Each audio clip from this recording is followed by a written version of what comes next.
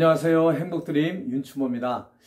오늘은 여러분들과 함께 그 82년생 김지영이라는 영화에 대해서 한번 이야기를 나눠볼까 합니다. 어, 최근에 그 국내 영화 중에서 아주 절찬리에 상영 중인 82년생 김지영이라는 영화가 어, 굉장히 인기가 있다고 해서 또 많은 사람들이 회자되고 있어서 82년생 김지영이라는 영화를 우리 집사람과 함께 가서 영화를 봤습니다. 82년생 김지영이라는 영화는 김지영이라는 한 여성이 한 가정의 그 아내로서 또 한 가정의 어, 엄마로서 또 한 집안의 며느리로서 또 직장의 직장인으로서 살아가는 동안에 겪는 그 아픔, 고통, 또 어려움, 음, 또 심지어는 어, 그 아픔과 고통으로 인한 또 어, 우울증, 또 빙의라는 그 정신 질환을 앓고 있음으로 인해서 받는 그 고통을 아주 리얼하게, 신랄하게 오늘 현대를 살아가고 있는 한국의 여성들의 그런 실제 모습을 어, 적나라하게 표현한 그런 영화가 아닌가라고 생각을 했습니다. 제가 이 영화를 쭉 이렇게 보면서 과연 우리 현대를 살아가고 있는 대한민국의 여성들이 이런 아픔과 고통을 받는 이유는 무엇일까라는 그런 생각을 하면서 이 영화를 봤는데요.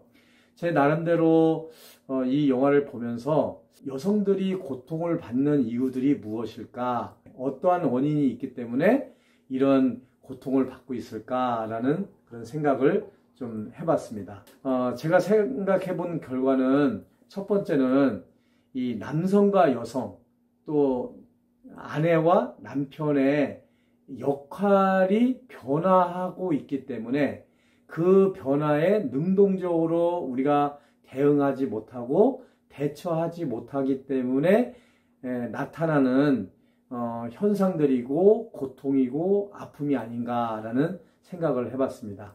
우리가 전통적으로 가족 내에서 남편, 즉 남성의 역할은 밖에 나가서 일을 해서 돈을 벌어오는 것이 이 남성, 남편들의 역할이고요. 어, 여성들은 즉 아내는 그 남편들이 벌어다 준 돈을 가지고 어, 집안 살림을 하고 또 아이들을 잘 키우는 그런 육아를 담당하는 그런 역할들을 했었는데 이것이 점점 산업화 사회가 되고 사회가 복잡하게 되고 또 경제적으로는 어려움이 있게 되고 또 사회적으로 여성의 진출이 늘어나면서 어, 이런 역할 분담이 이제는 남성은 거의 그대로 가, 지만 여성들 같은 경우는 살림도 하고 또 육아도 하고 거기다 플러스 이제 일까지 하게 되면서 그 역할의 증가 이런 걸로 인해서 어, 여성들이 그 역할의 그 부담감이 어, 엄청나게 늘어나는 현대 사회에 여성들이 겪는 아픔과 고통이 늘어나게 된 것이 아닌가라는 생각을 좀 해봤습니다.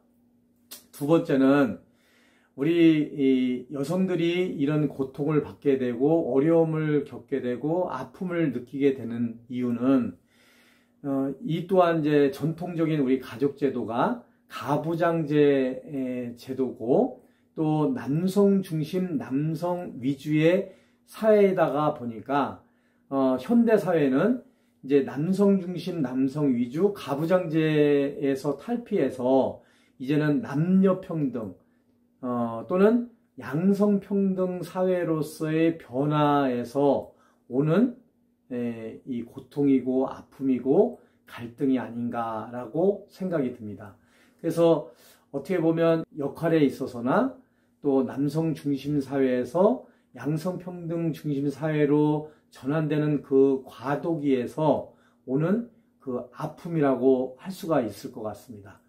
그래서 이것은 국가적으로 또 사회적으로 이 제도적으로 정책적으로 법률적으로 이러한 남성 평등 음, 중심 사회로 어, 또 역할의 변화에 따른 대안 또 대책 대처하는 그런 제도나 정책이나 법률이 보완이 되어야 됨에도 불구하고 시대 변화는 계속 이루어지는데 이런 법률적이라든가 제도적이라든가 정책적인 그런 뒷받침이 늦어짐에 따라서 또 어, 우리 국민들의 의식 변화가 늦어짐에 따라서 찾아오는 그런 고통과 아픔이라고 할 수가 있을 것 같습니다. 그래서 이제 이런 여성들의 그 아픔과 고통 이런 부분들은 어, 우리가 법률적으로 정책적으로 제도적으로 어, 국가나 사회적으로 공감대를 가지고 발전시켜 나가야 될 그런 부분이라고 생각이 듭니다. 그래서 저는 이 자리를 빌어서 어 이제 국가나 사회에서 이러한 부분들이 이제 공론화되기를 좀 바라는 마음이 있고요. 어 이것은 이제 국가나 사회적인 차원에서 이제 진행돼야 될 문제고 우리 이제 에, 우리 82년생 김지영 씨와 같은 그런 여성들에게 좀 부탁을 드리고 좀 말씀을 좀 드리고 싶은 내용들은 어, 이 사회는 어, 혼자 사는 사회가 아니다라는 것을 우리가 명심을 좀 했으면 좋겠습니다. 어, 혼자만 있어서 나 혼자 외롭고 쓸쓸하고 나 혼자만 고통을 감내해야 되는 사회가 아니다.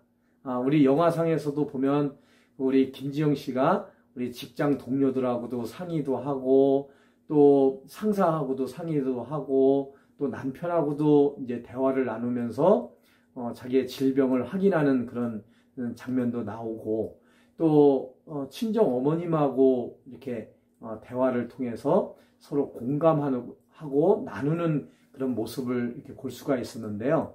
우리가 어, 김지영 씨에게 제가 드리고 싶은 말씀은 어, 나는 결코 혼자가 아니라는 사실을 알고 이런 제도적이나 법률적으로나 정책적으로 보완되지는 않지만 하루속히 보완이 되기를 원하지만 어, 그 보완되기 전까지는 우리가 개인적으로라도 어, 가급적이면 부모님과 상의를 하고 또 나를 지지하고 응원해주는 사람들과 에, 상의를 했으면 좋겠다라는 말씀을 좀 드리고 싶고요. 그리고 요즘 최근에 정신 건강상의 문제 때문에 많은 사람들이 고통을 받고 있습니다. 우리 여성뿐만 아니라 이제 학생들 또 노인들 어, 각계각층에 있는 사람들이 요즘은 정신적으로 질환을 앓고 있는 경우들이 많이 있더라고요. 어, 특히 이제 김지영 씨도 겪었던 산후 우울증이라든가 뭐 직장 우울증이라든가 육아 우울증이라든가 이런 우울증 환자들이 굉장히 많, 많이 있고요. 이 우울증이 더 극단적으로 어, 상황이 전개가 되면 자살로 이루어지는 경우도 있거든요. 그래서 요즘 최근에 정신건강상에서 뭐 우울증이라든가 조울증이라든가 또 공황장애라든가 뭐 조현병이라든가 뭐 이러한 정신질환을 앓고 있는 사람들이 상당히 많은 것을 볼 수가 있습니다. 그래서 우리가 어 예전부터 정신병 하면 우리가 굉장히 그 터부시하고 또 낙인을 찍는 그런 경우가 있어서 정신병이라는 그런 진단을 받, 받으면 어, 불이익이 있을 것 같아서 병원을 찾는 그 병원을 찾는 진료를 받는 것을 꺼리기도 하고 또 상담을 받는 것도 꺼리기도 하는 그런 경우들이 많은데요. 이 시대에 살아가고 있는 82년생 김지영 같은 여성들에게 또는 정신질환을 가지고 있는 그런 청년이나 학생들이나 노인분들에게 말씀을 드리는 것은 어, 우리가 신체적으로 건강하지 않으면 병원에 가서 진료를 받고 진단을 받고 또 뭐 주사를 맞는다든가 뭐 수술을 한다든가 또 약을 처방을 받아서 이렇게 깨끗하게 낫듯이 이제는 정신질환도 어 그렇게 낙인 찍힐 만한 그런 병이 아니고 우리가 얼마든지 상담을 하고 또 진료를 받으면 충분히 극복할 수 있는 병이다라고 생각이 듭니다.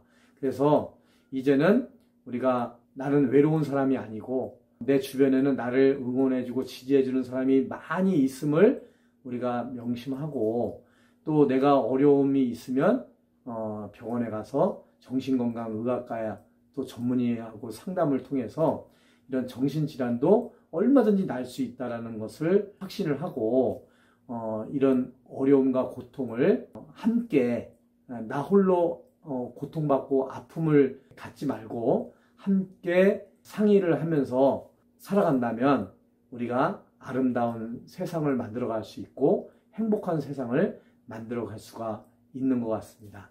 그래서 아무쪼록 우리가 이 82년생 김지영으로 대표되는 많은 여성분들, 또 학생분들, 또 노인분들, 예, 고통받고 어려운 가운데 있는 사람들은 우리가 함께 예, 살아갈 수 있다. 이런 확신을 가지고 행복한 세상을 만들어 갔으면 좋겠습니다. 여러분, 감사합니다.